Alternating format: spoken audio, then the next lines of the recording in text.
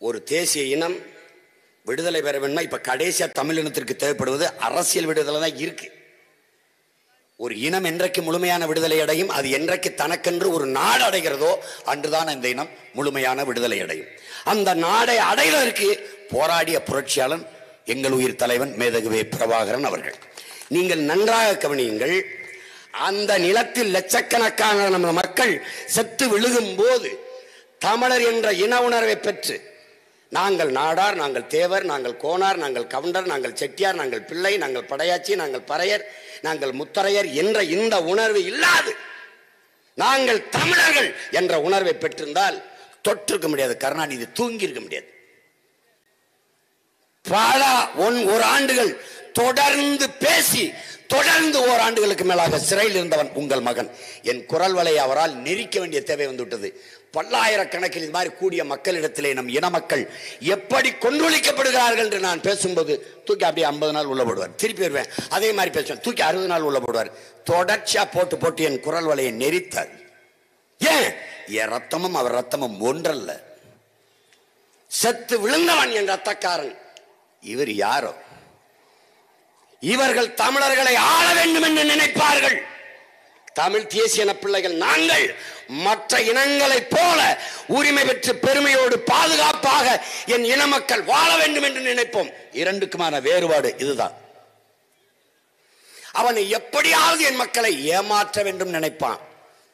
உங்கள் பிள்ளைகள் நாங்கள் இதிலிருந்து இந்த கொடுமை இந்த வறுமை இந்த துயரம் இந்த துன்பம் இதிலிருந்து என் மக்களில் எப்படியாவது மாற்ற வேண்டும் என்று நினைப்போம். இது ரெண்டுக்கும் இருக்கிற வேறுபாடு. அங்கே செத்து விழுந்தவன்.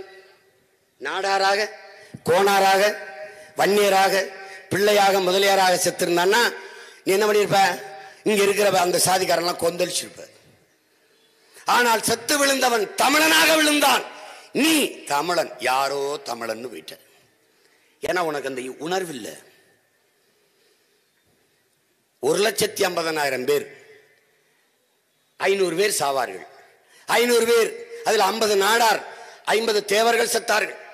அதில் முப்பது பேர் தேவேந்திரர் நாற்பது பேர் பிள்ளமார் ஐம்பது பேர் முதலியார் என்று எந்த நாடும் ஏடும் செய்தி பதியவில்லை என் அன்பு உடன் பிறந்தார்களே. தமிழர்கள் செத்தார்கள். இதான் செய்தி. உள்ளூர் செய்தியில் இந்திய செய்தியில் உலக செய்தியே அதுதான். இந்திய கடலுக்குள் மீனவர்கள் சுட்டுக் கொல்லப்பட்டார்கள். நம் இன சொந்தங்கள் நம் ரத்த உறவுகள். இந்திய மீனவன் செத்தான் எழுதப்படவில்லை.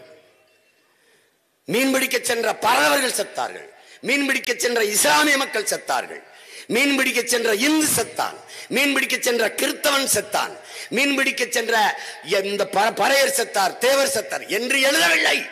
நாடும் ஏடும் செய்தி பதியவில்லை ஒரு இடத்தில் கூட. தமிழ் மீனவர்கள் செத்தார்கள்.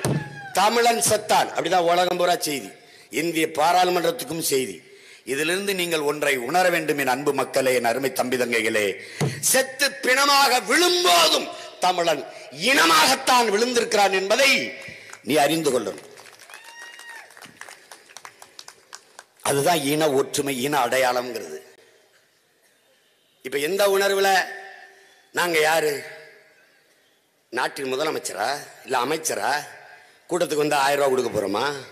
ஏன் கூண்ணீங்க அதுதான் இன உணர்வு மான உணர்வு. உங்களை உட்கார விட மாட்டேங்குது. உசிப்பி கொண்டு வருது. ஒரே கொடியில் இணைக்குது. அதுதான் தமிழ் கொடி தொப்புள் கொடி உறவுனா அதான் மொழி கொடி உறவு. அதனால உங்க பிள்ளைகள் என்ன சொல்றோம்? தமிழால் இணைந்து நாம் தமிழராய் நிமிர்வோம்னு முழக்கத்தை முன் வச்சது. காரணம் அதுதான். அந்த இடத்தில் போர் நடக்கும்போது இந்த இடத்தில் அதே ரத்த சொந்தக்காரன் ஒருவன் முதலமைச்சராக இருந்திருந்தால் என்ன நடந்திருக்கும் யோசிச்சு பாருங்க. சீமான் முதலமைச்சர் உங்க மகன். அப்படி கற்பனை பண்ணி பாருங்க. வச்சுக்க நினைச்சு பாருங்க. எங்க அண்ணன் இங்க சண்டை சீரர் எங்க மக்களை கொண்டுகிட்டு இருக்கான். சோனியா காந்தி அவன் மகன். இந்த கருணாநிதி எல்லாம் காசு கொடுத்து ஆயுதங்கள் வச்சு கொள்றான் என்னத்தால் அப்பன் காசு? ஏன் அந்த நிச்சி காசு? ஏன் காசுல ஆயுதம்? ஏன் காசுல குண்டு? ஏன் காசுல ராணுவ வீரனுக்கு பயிற்சி? கொடுத்து என்னை கொண்டுகிட்டு இருக்கான். இப்போ சட்டசபையில இந்த நாடு நாடாவதற்கு முன்பிருந்தே இந்த நிலப்பரப்பில் நிலைத்து வாழக்கூடிய புறுகுடி மக்கள் தமிழர்கள் நாங்கள் ஐம்பதனாயிரம் ஆண்டுகளுக்கு மூத்த தொல்குடி சமூகம் தமிழ் சமூகம். இந்த மண் அடிமைப்பட்டு கிடக்கும் போது இதன் விடுதலைக்காக செக்கிழுத்தவர்கள் சிறைப்பட்டவர்கள் தூக்கிலே தொங்கியவர்கள் வாளும் வேலுமேந்தி பீரங்கி துப்பாக்கியை எதிர்த்து போரிட்டு ரத்தம் சித்தி மாண்டவர்கள் தமிழ் மறவர்கள். அருமை பெரியவர்களே ஆட்சி அதிகாரத்தில் இருப்பவர்களே நான் இந்த நிலத்தின் இறையாண்மைக்கு கட்டுப்பட்டு சட்ட திட்டத்திற்கு கட்டுப்பட்டு தேசிய ஒருமைப்பாடை மதித்து வரி செலுத்தி வாக்கு செலுத்தி வாழ்ந்து கொண்டிருக்கிற குடிமகன். என் இன உறவுகளை இன்னொரு தாய் நிலத்தில் என் இனத்தின் வரலாற்று பகவன் கொன்று குவிக்கிறான். என் இன மக்களை கொள்வதற்கு நீ ஆயுதமும் பயிற்சியும் பணமும் கொடுப்பது தவறு. அதை நிறுத்திக் கொள்ளவில்லை என்றால் என் இன மக்களை காப்பதற்கு தமிழ்நாடு தமிழர்கள் நாங்கள் என் இன மக்களுக்கு என் இன மக்களின் பாதுகாப்பு ராணுவமாக இருக்கிற விடுதலை புலிகளுக்கு பணமும் ஆயுதமும் பயிற்சியும் கொடுக்க வேண்டிய தேவை உருவாகும். நாங்கள் கொடுப்போம். அவ்வளவுதான் சட்டசபையில் தீர்மானம். இலங்கை உனக்கு நட்பு நாடு. என் இனத்தின் வரலாற்று பகைவன் சிங்களன். உனக்கு நண்பன் என்றால் நான் யார்? ஹூவாமை நான் யாரா உனக்கு? நான் யார்? என்னை தாண்டி நீ நண்பன் தேடுகிறாய். சிங்களன் வேணுமா? அவனை வைத்துக்கொள். என்னை விட்டுவிடு. நான் வேணுமா? என்னை வைத்துக்கொள். அவனை விட்டுவிடு. இந்த ஆட்டங்காட்ட ஒரு ஆண்மகன் அந்த அரியணையில் ஏறி உட்காரணும். அதுதான் அதற்கு ஒன்றாக வேண்டும் தமிழர். கச்சத்தீவு. யாரை கிட்ட இந்திரா காந்தி எடுத்துக் கொடுத்தார்கள்? என் மீனவ மக்களின் வாழ்வாதாரம் என் இன சொந்தங்களின் சாவை பார்க்கவா? சாவை பார்க்கவா நாங்கள்? என் அக்கா தங்கச்சி தாலி இருக்கிறதை பார்க்கவா நாங்கள்? அவர்கள் அழுகுறலையும் ஒப்பாரியும் ஓலத்தையும் கேட்கவா நாங்கள்? எப்படி? யாரை கேட்டு கொடுத்த?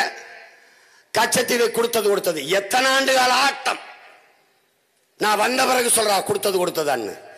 கச்சத்தீவை திருப்பி ஏடு இல்லையல் என்னை பிரித்து விடு. ஒரே தீர்மானம். நாங்கள் அப்பவே சொன்னோம் சீமான் ஒரு பாசிஸ்ட் சாவனிஸ்ட் பிரிவினைவாதி செப்பரேட்டிஸ்ட் குப்பரேட்டிஸ்ட். இங்க வாடே. இங்க வா. என் தாய் நிலத்தில் ஒரு நிலப்பரப்பை எடுத்து நீ சிங்களனு கொடுத்துட்ட. அதை எடுத்து இந்த நாட்டோட சேரு என்று சொல்ற நான் பிரிவினைவாதி கொடுத்தது கொடுத்ததுதான் என்று சொல்கிற நீ தேசியவாதியா என்று குரல் எழுப்ப ஒரு வீர குரல் வீர மகன் இந்த நிலத்தில் இல்லை. உனக்கு என்ன? உனக்கு இஸ்லாமியர் அடிச்சா இந்துக்கு வலிக்காது இந்துக்கு கடிச்சா இஸ்லாமியருக்கு வலிக்காது ரெண்டு பேரும் அடித்தா கிறிஸ்தவனுக்கு வலிக்காது. இது ஒரு கூட்டம். டே மதம் மாறிக்கொள்ளக்கூடியதாடா. டே தம்பி என் தங்கச்சி என் ஆத்தாள் அப்பனே உனக்கு புரிஞ்சுக்க மதம் மாறிக்கும் இன்னைக்கு இந்து நாளைக்கு இஸ்லாமிய. இன்னைக்கு இந்து நாளைக்கு கிறித்தவன் மதம் மாறிக்கொள்ளக்கூடியது ஆனால் மொழியும் இனமும் ஒருபோதும் மாறிக்கொள்ள முடியாதது. மாற முடியாது.